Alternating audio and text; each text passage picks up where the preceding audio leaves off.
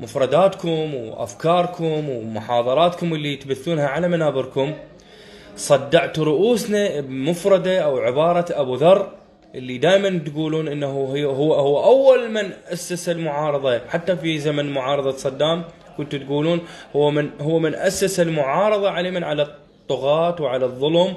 وكان يقول عجبت لمن لا يجد في بيته قوت كيف لا يخرج للناس شاهرا سيفه ماشي. هسه نحكي على القوت نحكي على الخدمات نحكي على الأمن نحكي على الذلة نحكي على هاي الخراب اللي صار نحكي على القتل نحكي على الجرائم مش نحكي على ياما يفتردون